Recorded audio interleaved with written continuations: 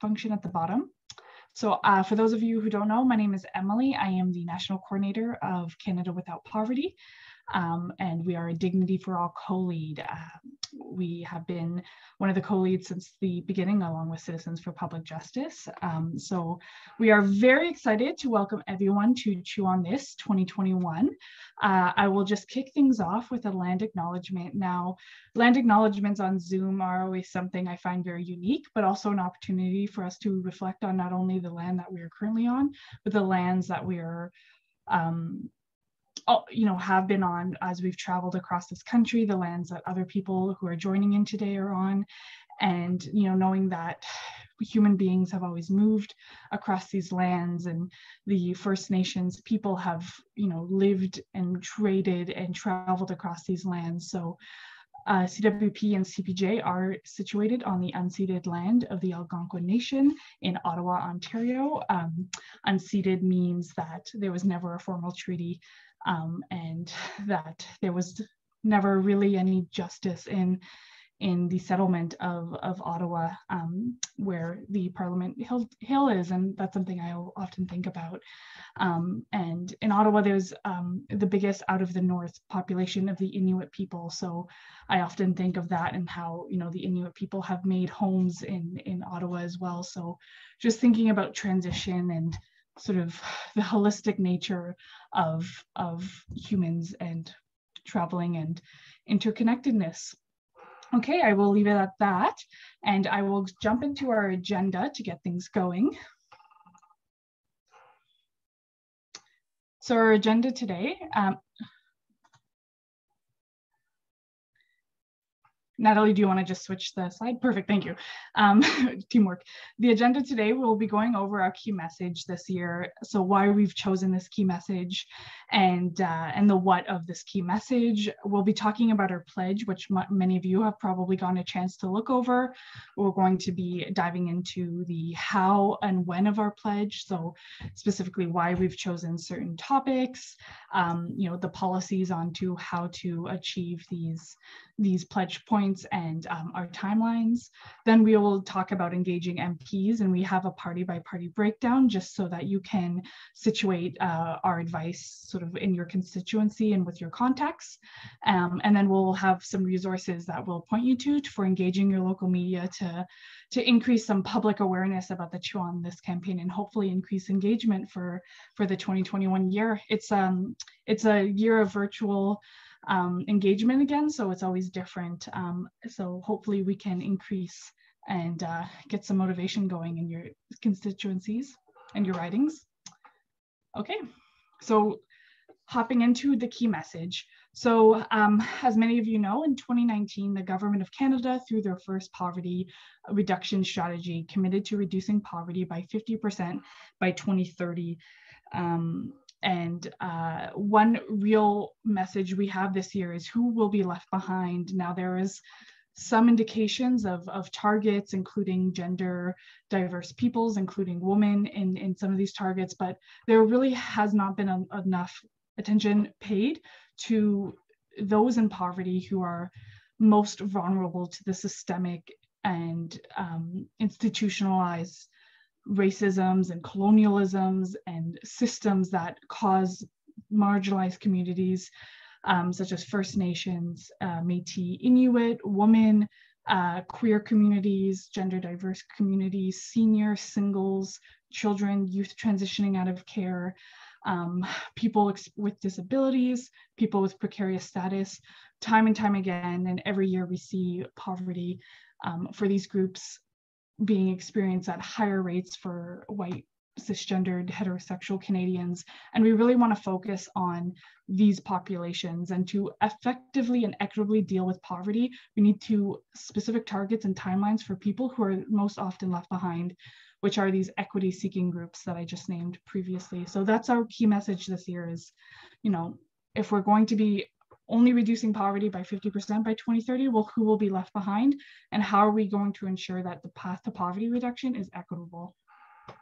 I'll, um, so I'll pass it off to you, Natalie.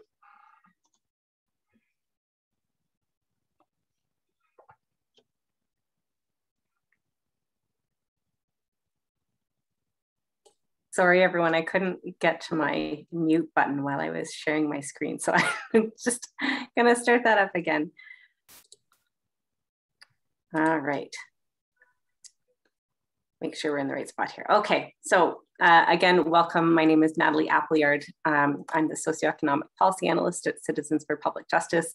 Um, great to see many familiar faces and names, and uh, thanks for your continued support. Uh, so I'm just going to go over a little bit of the targets and timelines in our, our pledge and some of the framing of um, how we came to these targets.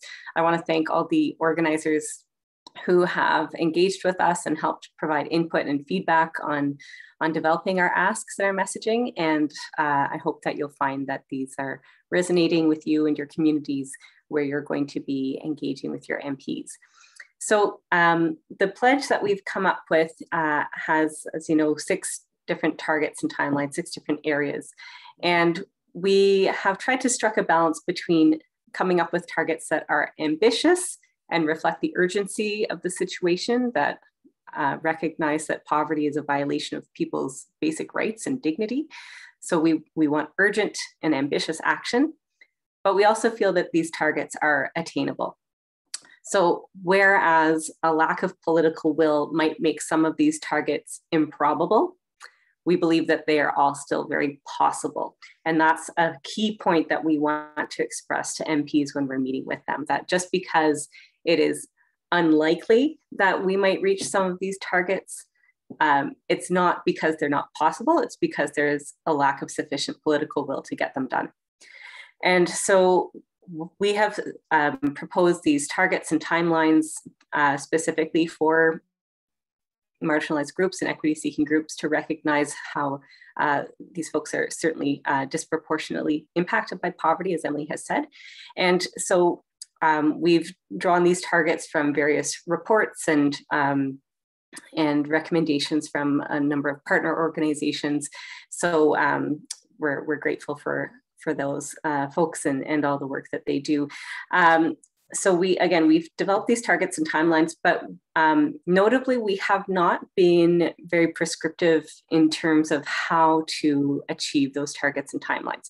And so one of the key points that we want to make is that um, what we're looking for from the federal government are these targets and timelines, the kind of funding to make sure that these things can be um, can be possible um, to make sure that there are minimum standards, but that the pathways must be developed in consultation with the communities most affected. So for example, while we have used these targets and timelines in the pledge, figuring out how to do these things must be developed in consultation with Indigenous-led uh, organizations and, and, and um, First Nations, Inuit, and Métis governments, uh, with Black communities, with queer communities, with disabled uh, people and communities. Um, so again, these are the targets and timelines that we're aiming for um, to honor people's uh, human rights and ensure that people are living with dignity. But there are many different pathways to get there and they can be localized while still having these same national standards and targets.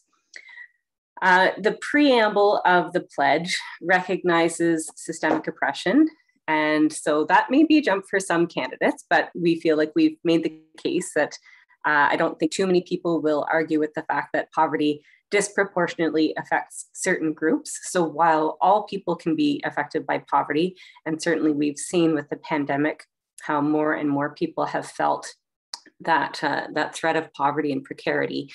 Um, you know, I don't I don't think too many people would would say that it's not true that certain groups are um, disproportionately impacted by poverty, and so um, we do ask MPs and senators to recognize systemic oppression in the preamble, and we ask them to commit to working with others to realize these targets and timelines, uh, to support adequate investments, and to develop plans with uh, with members from other parties and with um, and with again the communities that are most impacted by these things.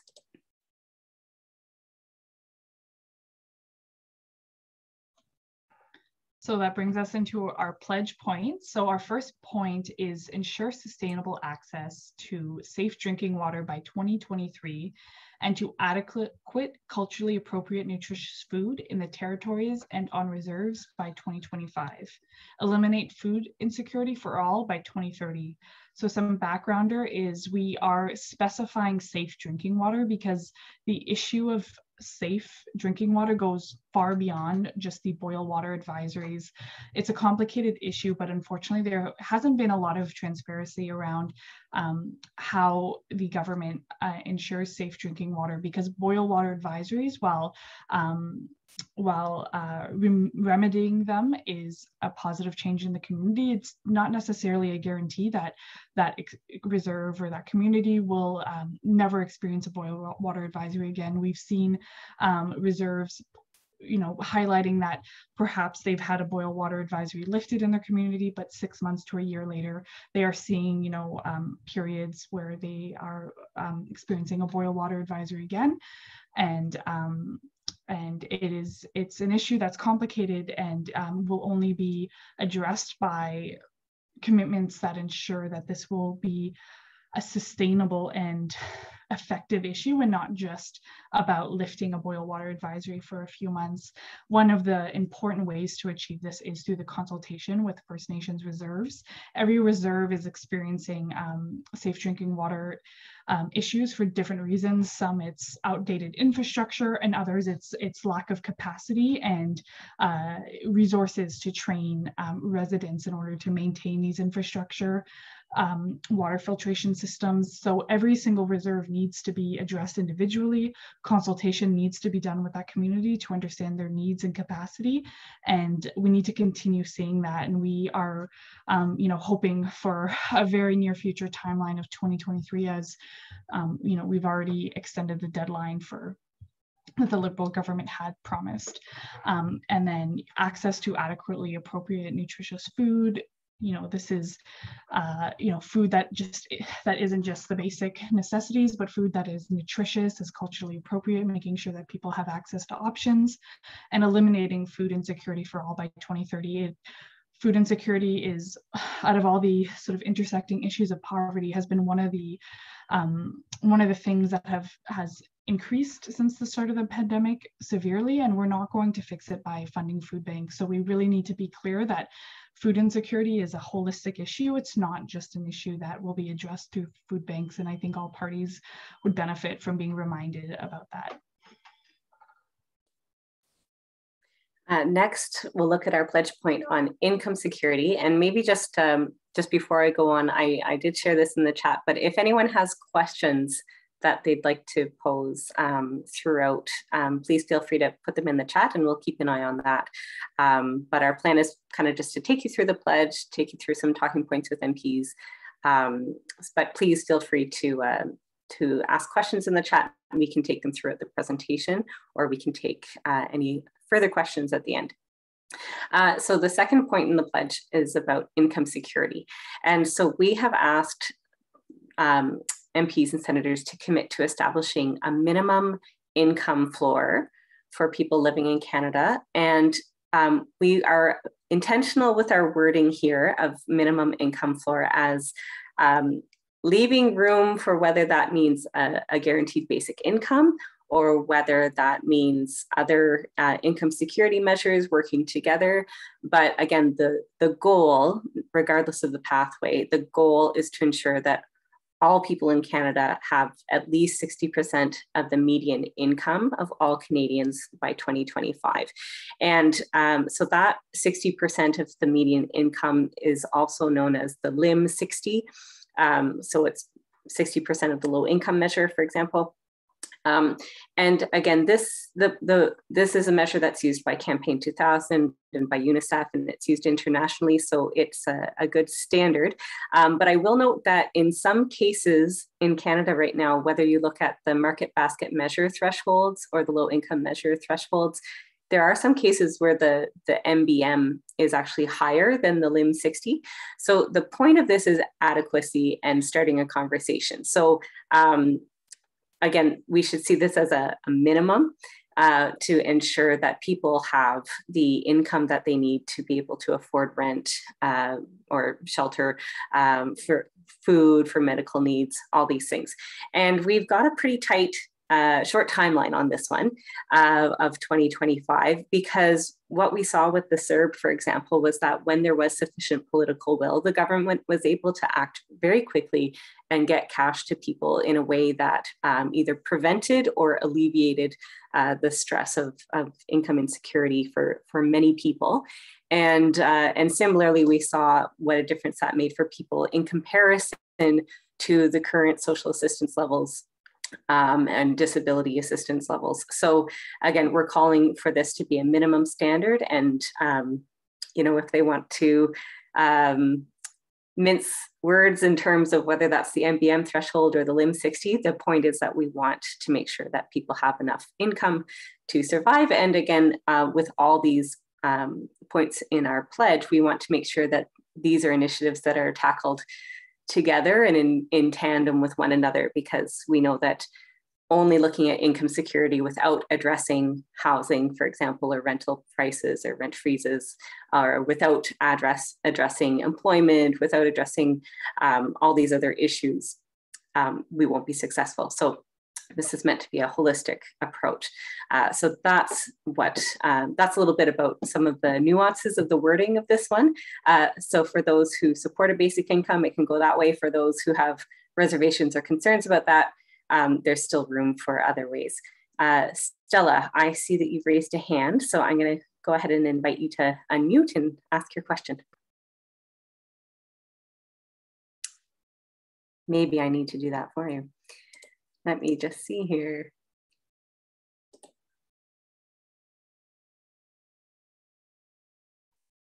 Unmute. Can you hear me now? Yes, we can. Oh, sorry, sorry. It was actually a bit of a mistake. I was trying to find the chat thing or the or a question, but I but I I, I just have to say that um, a group that I would be doing this uh, with, or on behalf of, I guess, with other people in the group, um, we we are committed to an MBM. Uh, for, and mainly, we're focused on income assistance, and I think that that will be perhaps one of the things we will focus on in our in our uh, chat with Andy Fillmore, who we've seen several times before, um, because this is where many of the lowest income people land up. And, um, you know, when you're talking about 50% of the uh, base of the um, MBM as the level of income assistance for um, a so-called employable single person, it's that's pretty bad. You know. Anyway, yeah. just to say that's what we're going to do.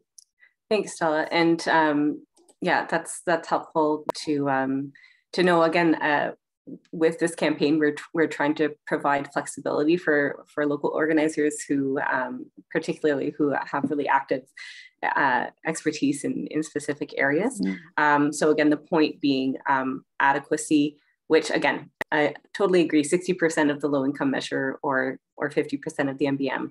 Like that's a pretty low bar. Um, but if we can use that as uh, no, no, it again, has the, to be up to the MBM. I mean, that's what's required to live. That's what, that, right. You know, the MBM is basically a, basic income. Uh, you know,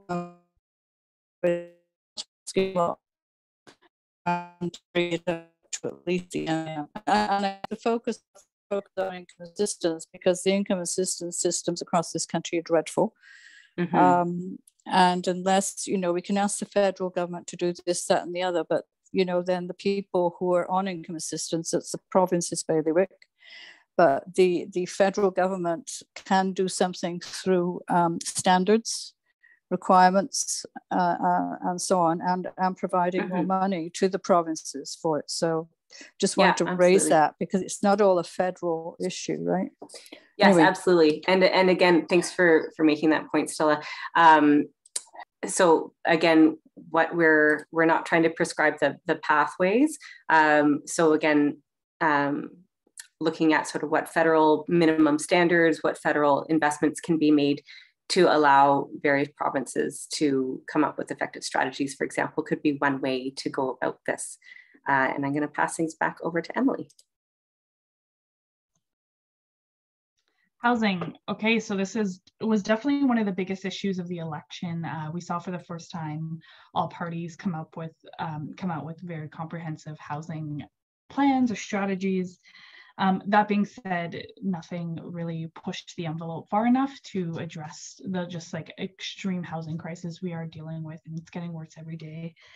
Um, so there is still a lack of attention to um, and, and, detail to deeply affordable rental units. This was something that was really missed in the election, um, and it's something that we want to uh, highlight with our um, need to eliminate core housing need and homelessness by 2030, tracking data to ensure equitable progress along the way, and close the gap in funding for rural versus uh, um, sorry rural excuse let me just restart that sentence. Close the gap in funding for rural versus urban housing and homelessness immediately.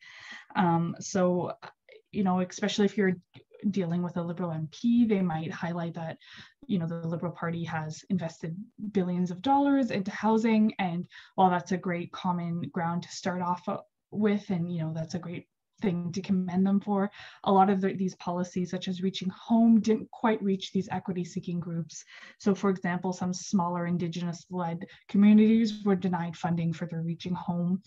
Uh, reaching home program um, and they were left without any sort of action or um, help to remediate that the housing need in their communities um, and um, and in some provinces there's a, a, huge not only urban homelessness and housing crisis but rural housing crisis. I know in the in the saskatchewan uh, manitoba alberta quebec there's a lot of rural housing need um, and it needs to be taken as seriously as the urban housing need is. Um, so here you know it's a big investment uh, you know, these, uh, I think a lot of MPs are going to talk about how expensive it is and how lengthy it is. But again, you know, where there is public will, there is political will. And the longer that we, um, the longer that we take to address these issues, the more expensive it's going to get. Um, and, you know, by housing first initiatives and uh, addressing housing need, you are in the long run addressing a lot of the other costs that are associated with poverty and lack of housing, such as healthcare and uh, you know the need for social assistance and other employment programs. So you can really just highlight that housing is one of the fundamental ways to um, address these needs and issues of poverty first. Not not to say it is a by any means going to solve everything. Um, but by not um, addressing it, it's just going to make the problem worse overall. Um, and I will pass it off to Natalie for the fourth point. Thanks, Emilly. Um, so the, the next point is about health and unmet medical needs due to financial constraints. Um, so reports show, for example, that um, many, many people in, in this country can't afford whether it's the medicine they need, whether it's assistive devices uh, or mobility devices, whether it's mental health supports, um, physiotherapy. Um, so many people are not getting the health care that they need, uh, including mental health, um, because of financial constraints. So we're calling for an expansion of the public health care system to include in community, so meaning that people should be able to access is where they live, which is particularly uh, critical for people living on reserve and um, for Jordan's principle, which um, guarantees that uh, people should be able to receive the medical care they need without having to wait for the uh, provincial and federal governments to argue over who's going to pay for it. Um, it means that uh, healthcare needs to be culturally appropriate. So we've heard throughout the pandemic and and long before uh, many uh, many people's experiences with the healthcare system being um, um, uh, racist and colonial. And so we need that culturally appropriate care, both again, in terms of um, our physical health, but also our mental health and, uh, and cultural care. And um, and so, again, we, we are calling for both of those principles in uh, publicly funded systems of pharmacare, mental health, dental, vision, and physiotherapy and we have put by 2025 here, um, partly because they've been talking for ages about um, implementing pharmacare now. And so uh, we just want to make sure that this, uh, this actually gets done, that we uh, move forward from consultations and, and actually put it into practice. Um, and again, recognizing that some of these, um, some of this access to, to healthcare is a matter of income. And so again, by addressing income security, we can also improve people's health uh, by making sure people have nutritious food, we can improve health, uh, making sure people have housing, we can improve health. So there are, again, many different pathways to achieve these goals, but we do believe that, um, you know, every part of our body and soul and spirit should be cared for in terms of our health systems. And so that's why we've called for a pretty ambitious target uh, regarding health uh, in Canada.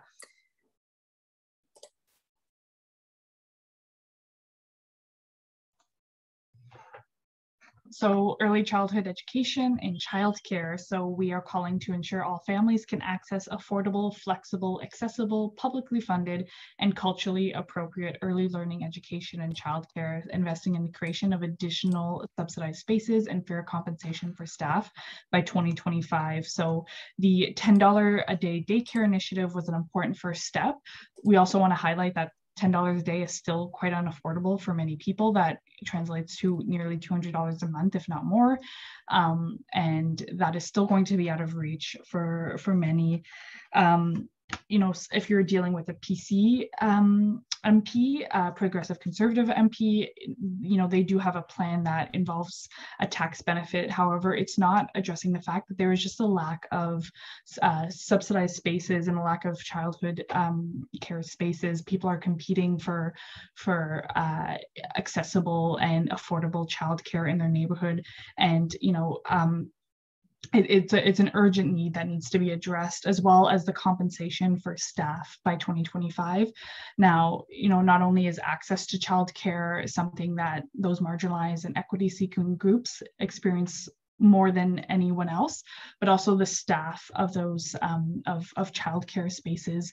It's a very undervalued and underappreciated and underpaid uh, sector of employment, often staffed by people who are racialized or recent immigrants, um, who are women or gender diverse peoples, uh, who are young or seniors, and we need to uh, ensure that childcare is um, you know, not only helping the child, not only helping the parent, but a child care system that helps the staff of that very system. Um, and I think that is all. Yes, so those are all our pledges, the six main points. One more. oh, sorry, my bad, my bad. I apologize. No everyone. problem. Uh, so our last one has to do with employment and pay equity. Um, I don't have a whole lot to share uh, on this one. If you'd like further information, I recommend that you check out the work that Color of Poverty, Color of Change is doing on pay equity. Um, but again, it's well established that there are huge gaps both in terms of access to employment and employment rates um, depending on um, many different features of, of, people's social identities. And um, so whether you're looking within genders, whether you're looking within ethnicities, uh, there are these uh, intersectional gaps in employment rates and pay equity. And so we are calling again for, um, for federal standards and investments to um, to close these gaps by 2030. Uh, this is one where there are many, many, many different pathways that this could be um, this could be explored. So whether you're looking at education or um, untying uh, restrictions based on immigration status, for example, um, looking at um, pay grades in federally um, in federal sectors. Uh, so again, calling wanting to name this as a as a barrier for people uh, in terms of their socioeconomic outcomes, um, but recognizing that um, again the role of the federal government in this is really to implement standards and investments um, for uh, more local solutions to be developed. Uh, so that one is the last pledge point. Um, and so uh, next we're going to, um, actually, I'm going to go back. I'm going to um, ask if um, if there are any questions. I'm just going to stop sharing my screen here. Are there any questions that folks want to ask in the chat or any comments that people would like to make just on the pledge points before we go on to talking a little bit about engaging with MPs?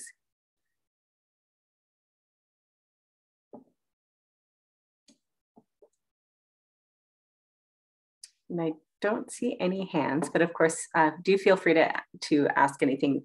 Oh, there we go. Um, Stella, go ahead.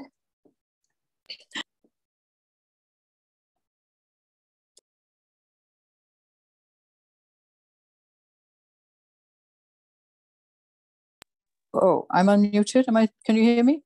Yeah.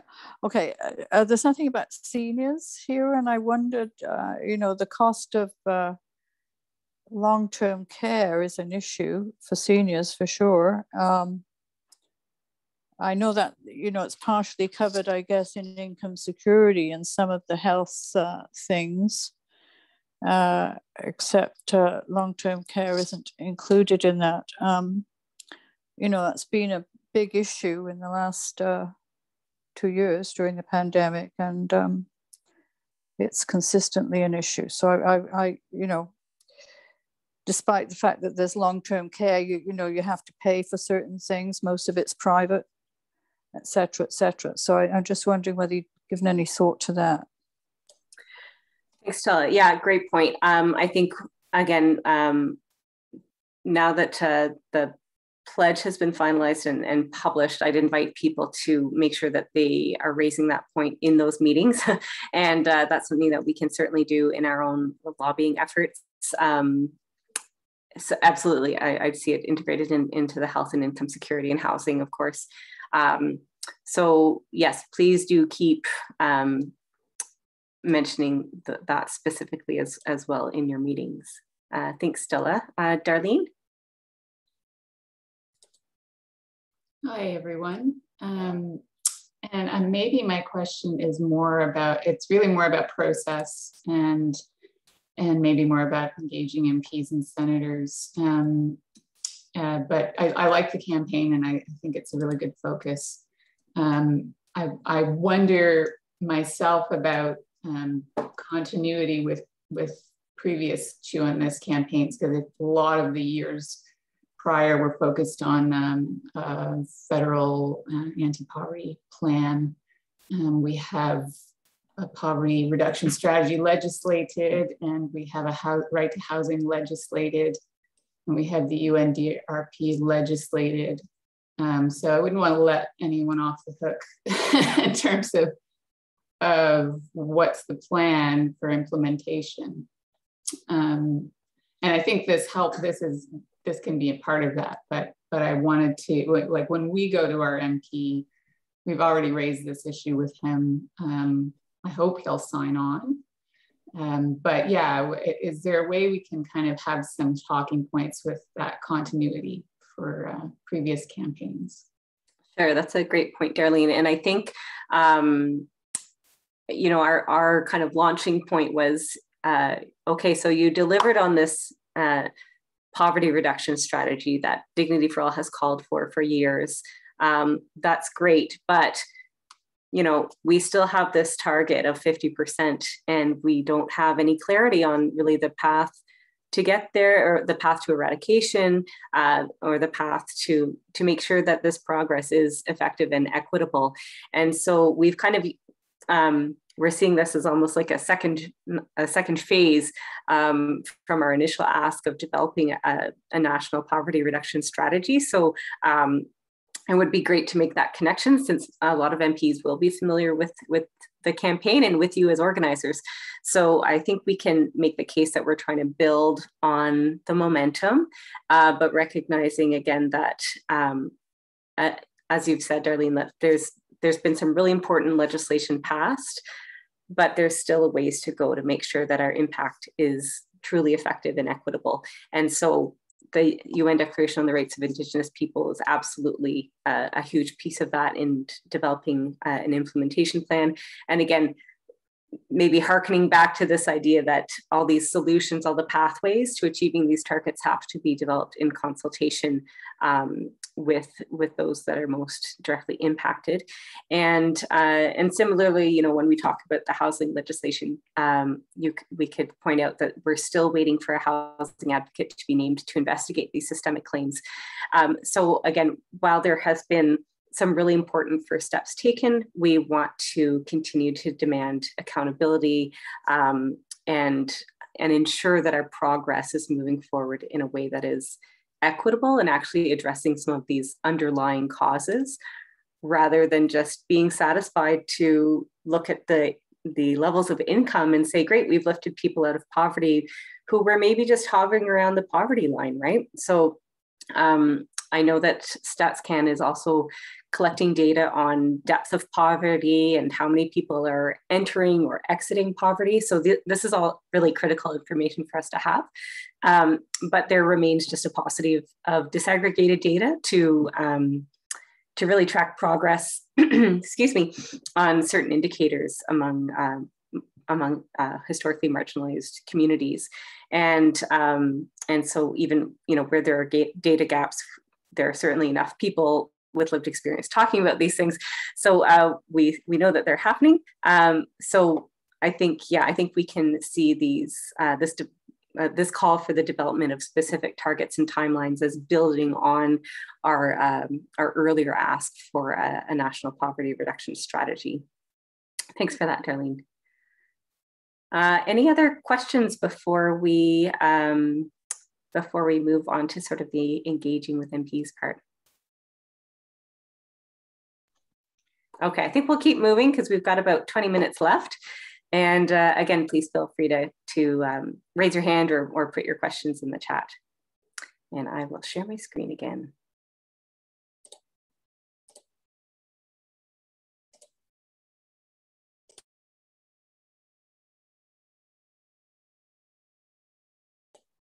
Is this me or you, Emilly? I think it's me. Okay, so basically we want to make sure when we're engaging with MPs that we're, we're keeping in mind, you know, why are we bothering? What, what are the goals for meeting and engaging with MPs? So um, at the very least, we want to ensure that our MPs know what matters to their constituents and how it affects them, what's going on in their communities that, um, that can really um, stress the, the importance of these issues and the urgency of these issues. Um, and we want to demonstrate that there is, in fact, sufficient public will to support them stepping out and showing the political will to take on these very ambitious targets. So we recognize again that these, we're asking for a lot of things in a shorter timeline um, with this pledge. But we're doing that because things have been left for so long without sufficient action or investment. And we know again that addressing these things now saves lives, uh, it saves money, which sounds a bit garish to say, but uh, but it is true. And so, um, you know, these are these are life or death situations, frankly. And so we want to make sure that we are addressing things at the root of of inequity and um, and making sure that we're seeing measurable impact and, and equitable impact. So they're big asks, and that requires a lot of political will to get these things done. It would take a huge amount of political will to meet some of these targets, particularly by 2025, you know, with, within, um, within four years. But again, as we said at the beginning, we think that these are absolutely attainable if there were sufficient political will. Um, but we know that politicians generally are waiting to see that there's sufficient public will to carry them through. So they may not be willing to go out on a limb. Um, some of them may, some, some of them may not be me willing to do that, um, even if they personally support these ideas. And so we have to show them that there is sufficient public will, that these are um, these are targets that their constituents care about and are demanding to see action on, that we won't be satisfied with half measures and, and pretty words. And so there's this element of accountability that we're keeping them accountable for what they're what they have pledged to do, um, that we're keeping them accountable in terms of what needs to happen and in terms of our, our human rights obligations as has been um, you know, consistent throughout um, throughout other wellness campaigns and, and the work of Dignity for All. And then, um, you know, lastly, we, we want to have an opportunity to fill in knowledge gaps. So, you know, a lot of MPs, um, I think, go into this uh, work with this genuine uh, desire to do what they think is best for their communities and, and the people they represent. But that doesn't necessarily mean that they're coming in with a background on any of these issues. And so there are knowledge gaps to fill, there's, um, there's gaps in their expertise. And so we want to build these relationships to increase our access and our influence so that um, they're willing to hear, um, to, to take that information from us. Um, and, um, you know, think about things in a different way maybe or um, you know maybe they have some good ideas about what they'd like to do but they um, they might be misinformed about how to go about doing that. So uh, these meetings are an opportunity to to address those gaps in knowledge and to um, build these relationships. So um, we're going to go over a few suggestions for different parties in terms of the angles that you might want to take. I know many of you on this call are very like seasoned veterans in in meeting with MPs. So a lot of this is is maybe um, you know, old hat to you. Um, but uh, we are recording this to be an ongoing resource. So uh, we're going to go over a few tips that, that we've thought of. And um, again, feel free to, to share your questions or, uh, or comments in the chat. Okay, so um, I will go through uh, each party, uh, starting with the Liberals as they're currently in power. So I think our main message really is go further and go faster. Um, so the Liberal government has, you know, implemented this poverty reduction strategy, the first national housing strategy. They've definitely made some progress in these areas of poverty profile progress, but you know, they've lost their majority government and a huge reason why is because they have underdelivered on a lot of their promises. Um, there are a lot of communities uh, our equity seeking communities that we keep drawing attention to have been underserved and especially um, they've lost a lot of trust with the indigenous metis and inuit communities because of underdelivery. So when you're meeting with your liberal mps you know there's a lot of common ground to, to, to, start off on. There's a lot of common goals. However, we you can emphasize on the need for timelines to be in the in the closer future so that people's lives are and, and needs are being addressed faster. The need for more more um, robust work, more disaggregated data to understand how each community is being impacted, and the need for more transparency to ensure that equity seeking groups are, are being met as equally and proportionally to um, white, heterosexual, cisnormative Canadians. Um, the Conservative Party, now they've come out with a platform that's a lot more progressive than it has been in previous years. And this is great steps. There's some good common ground to start off with the Conservative Party MPs as well. Um, however, um, definitely, again, they can always go further. You can always um, emphasize certain policies policies that they have. For example, uh, they've put a lot of focus on unions and working poor, and that is great. But what kinds of populations are going to be served by these um, job policies? Will it serve you know just the people who are slightly above the above the poverty line or will it be you know um, servicing marginalized communities those furthest behind from uh, reaching, you know, um, a dignified and uh, sustainable um, lifestyle and income. Um, Natalie, I'm not sure if you wanted to bring anything up for the conservatives. Um, did I miss before I go on to the other parties? Uh, I think maybe we could just, you know, we can recognize that um, yeah some some parties are going to be more likely than others to support these asks mm-hmm. but there's always an opportunity to um, to push for um, for further discussion with their caucus um, and um, to think about how again um, in terms of sort of this focus on small government that um, having strong national standards and strong federal investments can still um, still create space for mm-hmm. um, locally developed solutions. Um, but at the same time, I think you know we can we can challenge some of the or um, maybe not challenge. Let's say build on some of the rhetoric um, in terms of this more moderate um, platform that uh, that Erin O'Toole put out. Um, and again, just addressing knowledge gaps, appealing to the to the fact that uh, again, generally people are in this work because they believe that they're doing what they think is right for others.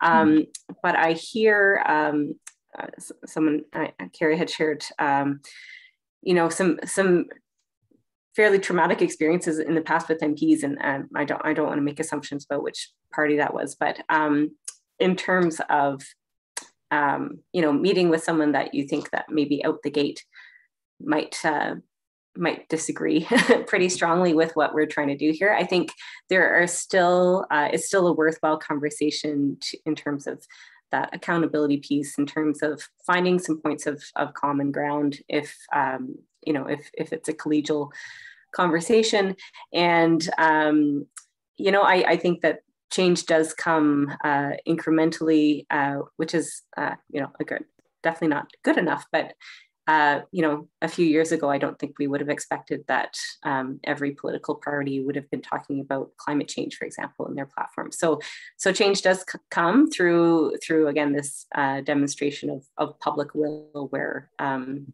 you know it, it no longer uh, will do for them to be silent on an issue, and so we can press them on um, again, sort of the data about who's disproportionately impacted by poverty. Um, and um, and trying to build some some goodwill and some uh, some progress there.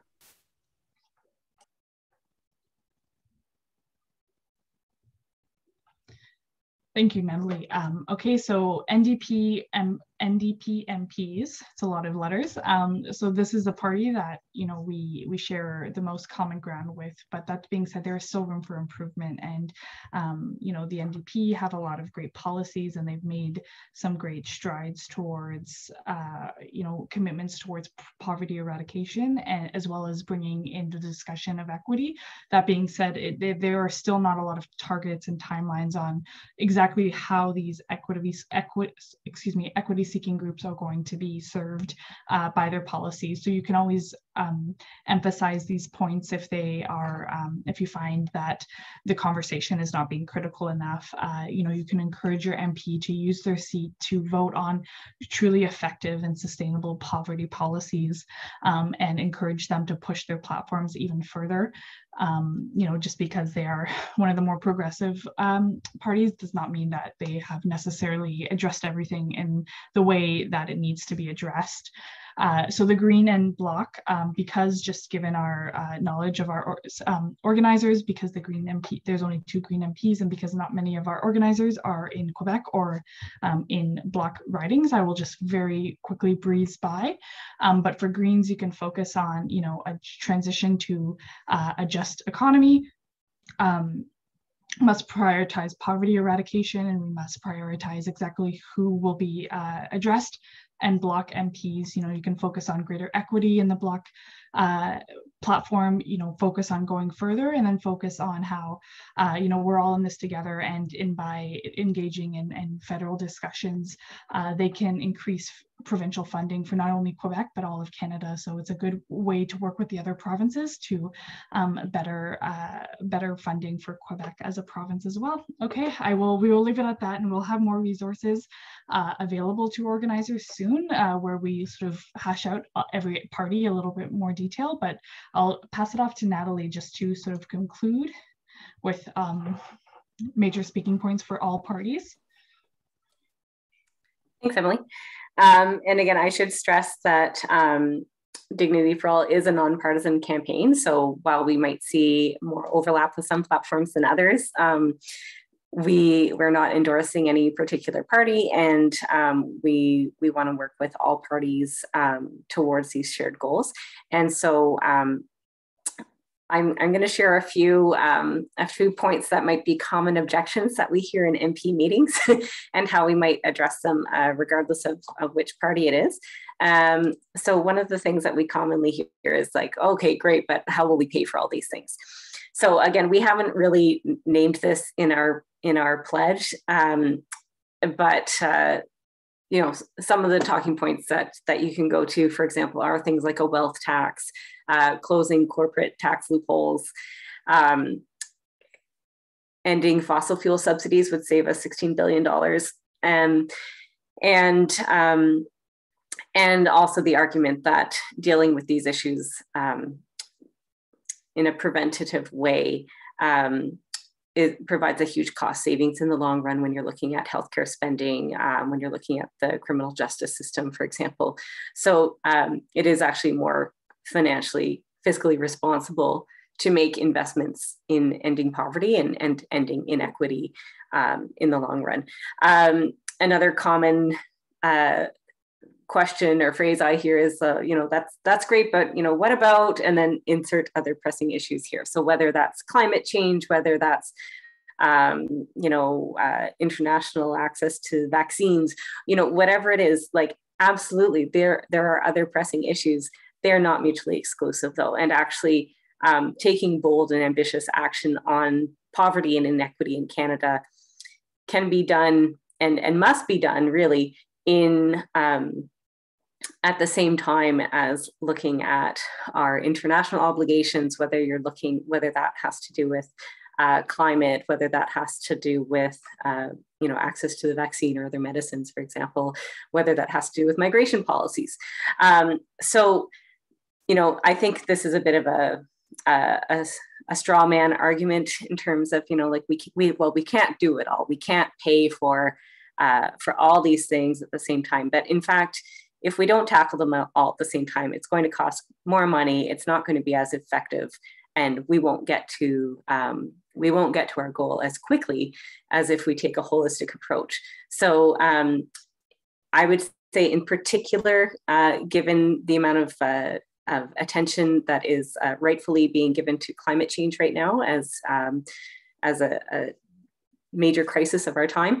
Um, again, a, a, just transition to a green economy means ensuring that this new economy, which is uh, decarbonized, is benefiting all people so that it's not perpetuating the inequities of our current economic systems, but it's actually creating a new economy that that actually benefits all people.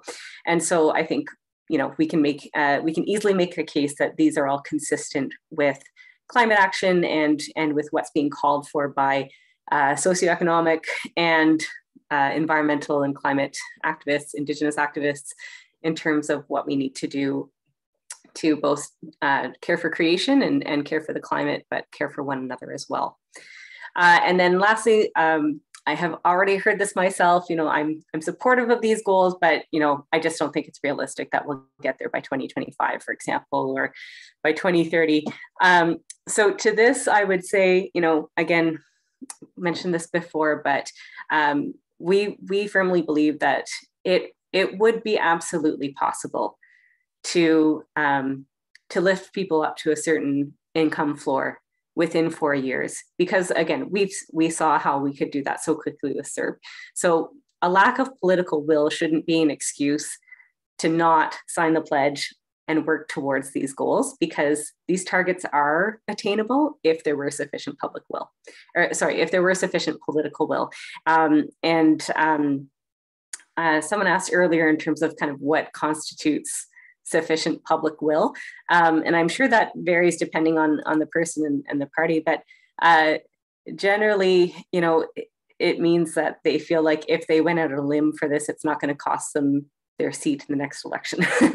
so um, you know we want to think about making sure that uh, that these are issues that we are demanding action on and that um, are going to lose them votes if, if they don't do that. And um, and and also just you know in terms of their their credibility and their integrity that we want to show that um, you know these these are concerns that uh, are shared by the public and that um, again, we, we won't be satisfied with, with half measures or dragging our feet or letting partisan politics get in the way of actually achieving these goals. So I'm sure there are nicer ways that you could say that, but that's the gist of it that, um, you know, the, these things, these targets are attainable if there were sufficient political will to get them done. And, and we saw that with, with the pandemic and, and with some pretty um, pretty ambitious measures in that regard, even though there was certainly room for improvement there as well. Um, so if you have met with your MPs and um, they agree to sign the pledge, then that's wonderful. Um, please still ask them to discuss this further with their caucus. Uh, ask for a photo and share it with us on social media or by email. Um, we'll be posting them on our on our website. Um, please invite them to the virtual town hall, which is on October 20th, and hope, hopefully we'll see you all there as well. And um, tell them that you're planning to follow up with them. Um, I've put here, you know, post budget as an example, um, but you know, let them know that this is not a, like a one-time thing, um, and uh, that you'll be following up with them if they are looking for more information on any of these pledge points. We're happy to provide it. Um, and again, we'll be um, putting together some uh, some talking points that uh, that you can download and use. Um, and then if you know if you've had a, a, meeting and and they they decline to sign the pledge, we can still ask them to discuss it with their caucus because you know some there's different reasons why they might uh, decline to sign the pledge. Um, maybe they don't think it's consistent with their party line. Maybe um, you know they personally disagree with some of the targets. But um, please ask them to discuss it with their caucus um, and um, express that again these these targets are ambitious because they were they we are trying to reflect the urgency of, the situation and um, and the, and the disproportionate way that poverty does impact certain groups. Uh, you can offer to share more information if there are any, if they have particular objections to any points in the pledge. Um, if, uh, if you need help finding any information, we're happy to help with that. And please invite them to attend the virtual town hall as well, because that's just another opportunity for them to, uh, to hear from others and, um, and even just to, you know, whether if they are a member of the uh, governing party or a member of the opposition, um, they'll have a role in ensuring that there's accountability in our government and uh, making sure that uh, the government decisions are informed by, um, by the issues that their constituents care about. Um, so again, we're, we're asking folks to meet with their MPs. Um, I think, I believe initially we said, you know, from October 17th to the end of the month, but, you know, you can start earlier if you want to. And um, we have a couple senators who have signed the pledge so far, but I'm hoping that those numbers will start to jump up um, once we uh, once these meetings get started. So um, thank you so much for your engagement and your continued support. I know um, many of you have been uh, organizing for Chew on This for years, and uh, we couldn't do this without you, and uh, we appreciate all your input. Um, so please keep in touch if you have any questions. Again, we'll be sharing this recording and, um, and more resources on our website. And last thing we'll note is that there are resources as well for engaging your local media. So uh, you can find under the engaging your local community page, uh, sample press release, sample letter to the editor, and sample tweets and graphics under the um, engage your social networks page. So again, just some ideas there of ways that you can help spread the word. They uh, are downloadable in Word documents, so you can customize them. And, uh, but they'll provide some some of our key talking points that we've gone over today and, and, uh, and our key framing. So I just want to uh, thank everyone for being here. Um, and uh, yes, we will share the PowerPoint as well. So we'll, we'll post the slides under, um, under the section of resources for organizers on our website as well. And uh, I'm sure we'll put links on social media and everything like that. So thanks again for being here. Um, happy to, to see everyone. And uh, Emilly, I'll let you give your farewell as well. Thank you, everyone. I, I'm just, I've been trying to respond to some of you directly, so I apologize if um, if you, if I haven't responded to your question in the chat, you can email us at the Dignity for All email or reach out to one of us through our personal email accounts. I'm sorry, I'm not, I think there's a few questions I missed, but um, you know, in solidarity, we will, uh, we will work together. I'm very excited to kick off the launch this year. Oh, and I do see one more question just oh. about what, what our next steps will be after October. Um, so in terms of uh, what we'll do with the sign pledge, uh, we do have a list on our website that you can, a, a table that um, it, that everyone will be able to see who has signed the pledge. And um, towards the end of the month, we'll start putting a bit more social media pressure on different uh, on different MPs and senators, uh, you know, um, publicly asking them to sign the pledge. And, um, and so we'll continue to, uh, to have follow-up meetings um, and um, particularly, you know, as we're looking at how uh, cabinet takes shape and uh, what the budget looks like, uh, this is kind of just a springboard for further meetings. So again, um, even even for you folks as local organizers, um, you know, the pledge is meant to kind of get these conversations going and then hopefully it leads to further conversations about how we actually achieve these targets, right? And how um, how does meaningful consultation happen so mm-hmm. that we can develop these uh, locally developed and locally meaningful solutions. So they'll there will be um, other further opportunities for engagement, um, but we will be uh, sharing publicly who has signed the pledge and, uh, and calling for others to do so, and then following up uh, with, with further meetings. Um, but again, open always to your ideas of ways to, to stay engaged. Uh, we've had to get creative these past this year and, and last year in terms of shifting to a digital um, digital strategies and and um, you know shifting away from our typical postcard campaign. Um, but yes, this is always meant to be kind of one more um, one more stage in, in an ongoing conversation uh, where again hopefully you know as as folks sign on to this pledge then we can look for opportunities to connect them with uh, with groups that have been researching the, the pathways to achieve these targets and, and goals and hopefully meeting with parliamentary committees, um, all, all the government relations work that, that must continue to, uh, to find opportunities, whether that's going to look like legislation or budget submissions or what have you. But um, again, this is one piece of the puzzle. So thanks to each of you for, for your part in this. And um, again, it's so critical just to show that that public will is there. So thank you again so much for being with us today and, uh, and for your engagement. And uh, please do keep in touch and uh, share your questions and input and suggestions with us. Thanks, everyone.